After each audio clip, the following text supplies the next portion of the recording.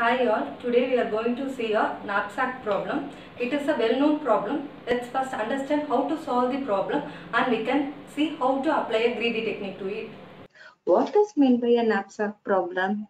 The thief used to come with a bag and collect the item from our house and sell our product outside. What is the aim of the thief? The item what he have picked from our house should be maximum. It is one of the real-time problem. One more real-time problem we can relate to this is uh, the transportation of goods from one place to another. The same thing, the goods transport from one place to another should gain a maximum value. So let's start to a problem. So we have a list of item 1 to 7. For each item, the corresponding profit and weight is given. So let's understand for what weight and profit is given. See, bag is given. Here the bag capacity is 15. W capital W is said to be a knapsack.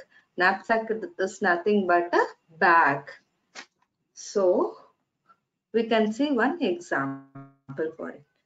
See, this is a bag. The bag maximum weight is, they can carry the maximum weight will be 13. So we have a list of item. The item, for each item, we have a weight and the value. So what is the goal? What is the goal of the knapsack problem?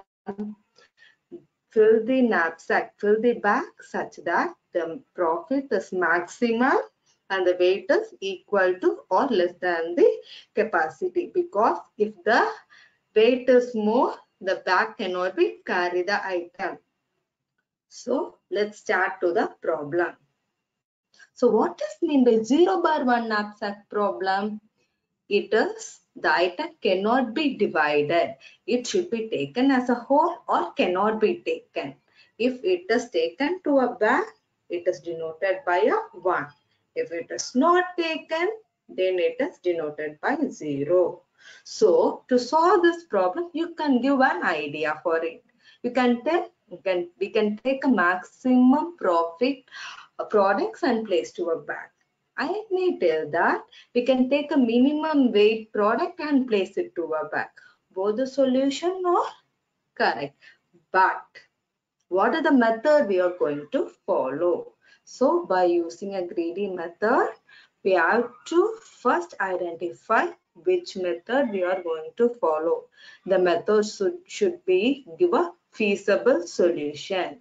Each step should give a feasible solution. At last, we have to produce one optimal solution. So here, first we are finding the profit by weight for each item. This is the method we are going to follow. So, what is the item 1 profit divided by weight? So, 10 divided by 2 will be 5. Next item 2, 5 divided by 3, the value will be 1.3. Next item 3, 15 profit is 15 the weight is 5. So 15 divided by 5, the value will be 3. Next, item 4, profit is 7. The weight is 7. So 7 divided by 7 is 1. Next, item 5, the profit is 6 and the weight is 1. 6 divided by 1 will be 6. So next, item 6, 80 divided by 4, the value will be 4.5.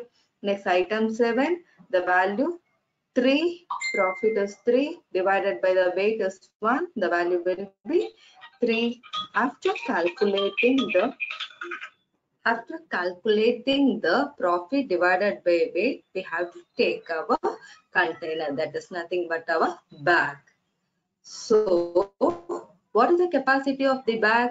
It is 15 so we have to place the item equal to 15 or less than 15. How to choose the item? For that only we have calculated the profit divided by weight. So we have to take the maximum profit item first. So the maximum profit item here is item 5 the value is 6 so first you have to take the item 5 before placing the item 5 to the container. You have to check whether the weight is lesser than the capacity of the bag. So item 5 weight is 1 so it is lesser than the capacity. So you can probably place the item 5 to the bag.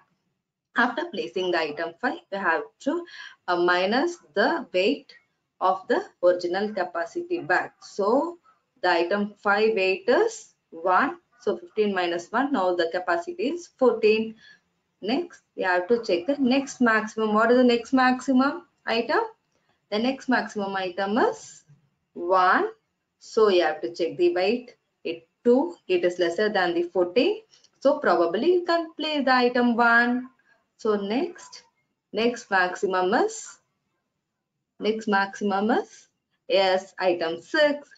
So the weight is 4. It is lesser than the now 12. So you can probably place the item 6 to the bag. Now the 12 minus 4, its weight is minus, so it is 8. So next maximum is item 3, the weight is 5 it is lesser than the now uh, now capacity weight is 8 so it is lesser than 5 so we can probably place the item 3 to the bag next we have to minus the weight. So 8 minus 5 is 3 next what is the next maximum? It is item 7 the item 7 is placed. The weight is weight of the item is 7 is 1 so 3 minus 1 is 2. Now the capacity of the bag is 2. What is the next maximum?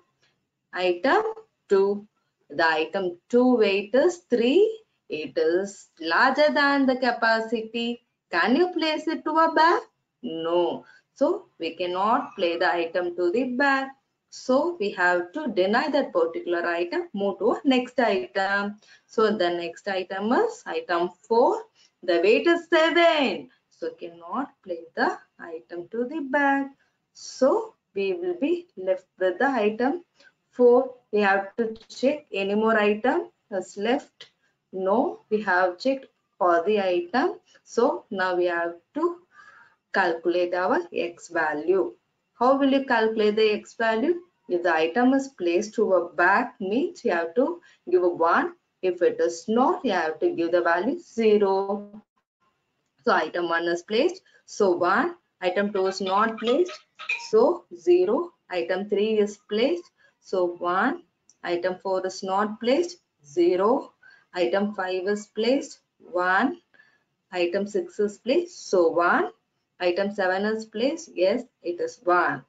So our problem is over. Now we have to calculate the total weight and total profit gained.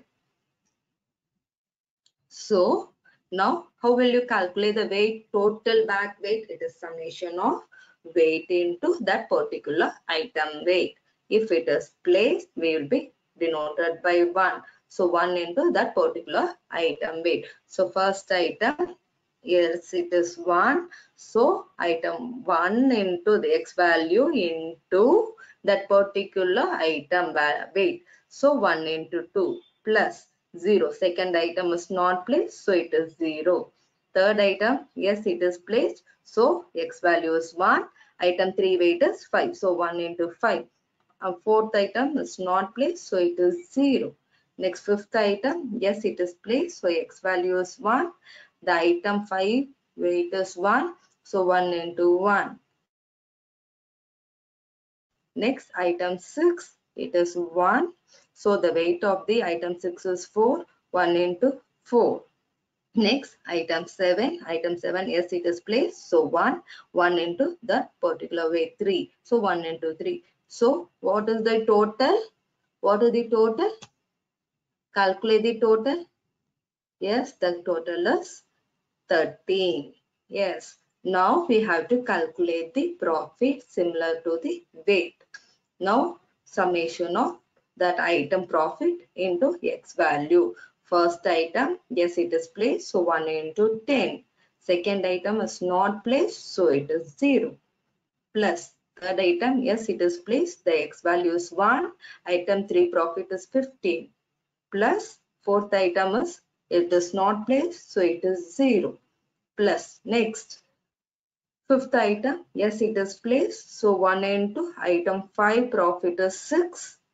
So 1 into 6 plus sixth item, yes, it is placed. So 1 into the item 6 value, that is profit is 18. So 1 into 18 plus seventh item, yes, it is placed. So 1 into the item 7 item profit is 3, 1 into 3. So if you are calculating that particular value, so you will be getting 52. That will be your final answer.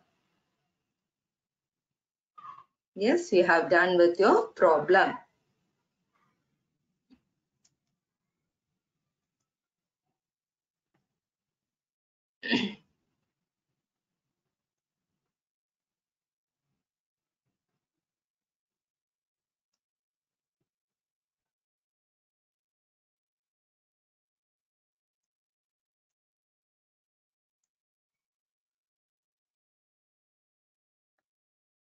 So what is the approach we have used to solve this problem by using a greedy technique? First you have to calculate the ratio. How will you calculate the ratio? It's nothing but profit divided. Finally, you have to calculate the profit. If you have any doubt, please do comment me. I have given one assignment problem for you. Please do calculate and check. Thank you.